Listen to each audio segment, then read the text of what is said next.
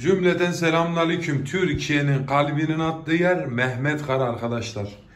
Bir takım altın bilezik eee, Fransa'ya hayırlı uğurlu olsun. Değerinde satıldı, değerinde verildi. Altın bilenzikli kuşlarımız güle güle beslesin. Yani gerçek anlamda söylüyorum. Çok büyük paraya ve çok büyük bir ustama hayırlı uğurlu olsun. Allah utandırmasın. Güle güle beslesin. Ben sattığım kuşun her zaman arkasındayım. Kuşlarımı da görüyorsunuz. Dişimiz bu. Oyunlu ebe dişimiz. Bu da erkeğimiz.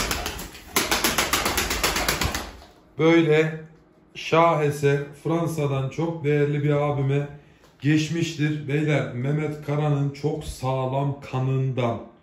Bak açık konuşuyorum. Fransa'da çok değerli bir abime değerinde gitmiştir arkadaşlar. İkisi de yavru ekesi, ayaklarında 14 ayar altın bilenzikleri ikisinin de mevcut.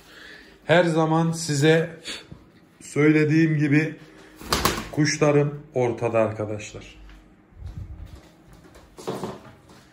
Dişiyi de şöyle yakından inceleyebilirsiniz.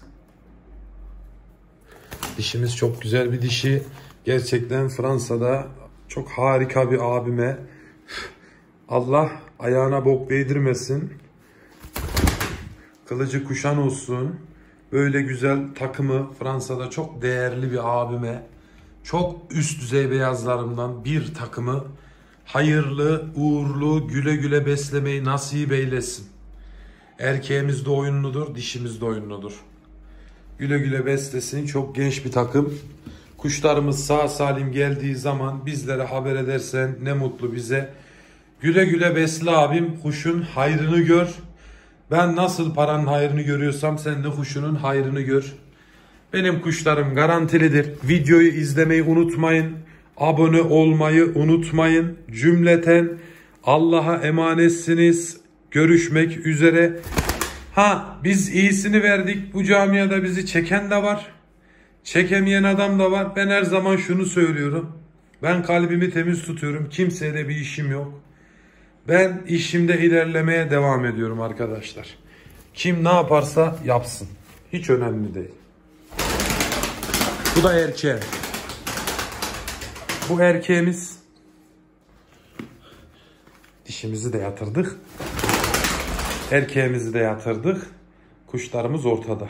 Fransa'ya hayırlı uğurlu olsun. Güle güle besle güzel abim benim.